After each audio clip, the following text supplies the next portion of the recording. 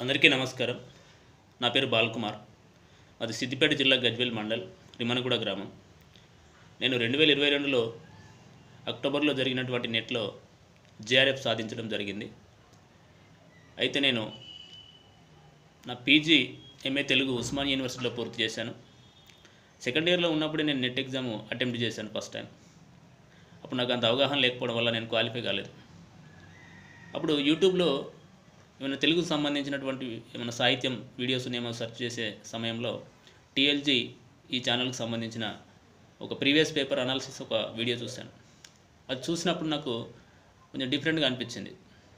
చాలా బాగా ఎక్స్ప్లెయిన్ చేశాడు సార్ అందులో.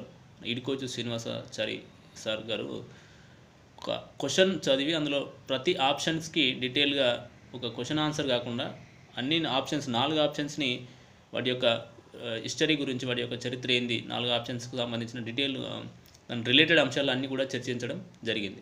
కేవలం నా ప్రీవియస్ పేపర్స్లో చేసినటువంటి విశ్లేషణను ఆ క్లాసెస్ మాత్రమే విని సెకండ్ టైం నేను నెట్ మళ్ళీ అటెంప్ట్ చేశాను. ఇప్పుడు నేను నెట్ క్వాలిఫై అయిపోయాను. జస్ట్ ప్రీవియస్ పేపర్స్లో సారు అనాలిసిస్ చూసే జస్ట్ అంత సబ్జెక్టు అందులో కవర్ అయిందనమాట వాస్తవానికి అన్ని అంశాలు అందులో సార్ కవర్ చేయడం జరిగింది. దాని తర్వాత మళ్ళీ నేను జేఆర్ఎఫ్ నా టార్గెట్ యాక్చువల్గా జేఆర్ఎఫ్ టార్గెట్ పెట్టుకున్న తర్వాత త్వరలోనే అప్పుడే నాకు మళ్ళీ ఇక్కడ ఆ యూట్యూబ్ ఛానల్ ద్వారానే సార్ ఒక యాప్ తీసుకొస్తున్నా అని చెప్పేసి అనౌన్స్ చేయడం జరిగింది. తీసుకురా తీసుకొచ్చిన వెంబటే నేను దాన్ని పర్చేజ్ చేశాను. అందులో చాలా రకాల అంశాలు. కంప్లీట్ మన నెట్ సిలబస్ మొత్తం కంప్లీట్ డెప్త్గా సార్ అందుబా అందుబాటులోకి తెచ్చాడు. చాలా డీటెయిల్గా చాలా క్లియర్గా మంచిగా అసలు ఎలాంటి సాహిత్యం పైన అవగాహన లేనటువంటి విద్యార్థి కూడా అర్థమయ్యే విధంగా బోధన అనేది చేయడం జరిగింది సార్.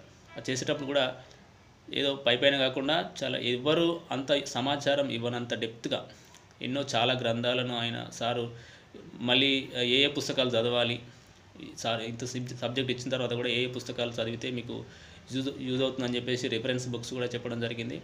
చాలా బుక్స్ రిఫర్ రిఫర్ చేసి ఎంతో డెప్త్ ఇన్ఫర్మేషన్ ఇవ్వడం జరిగింది. దాది అది నాకు చాలా ఉపయోగపడింది.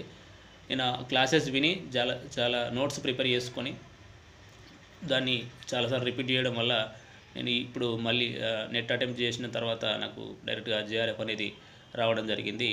వాస్తవానికి నాకు ఇంత సబ్జెక్ట్ రావడానికి ఇంత డెప్త్గా నేను సబ్జెక్ట్ అనేది ఎక్వైర్ చేయడానికి కారణం ఈ టీఎల్జీ ఛానల్ కావచ్చు టీఎల్జీ యాప్ కావచ్చు చాలా హెల్ప్ అయింది వాస్తవానికి చెప్పాలంటే.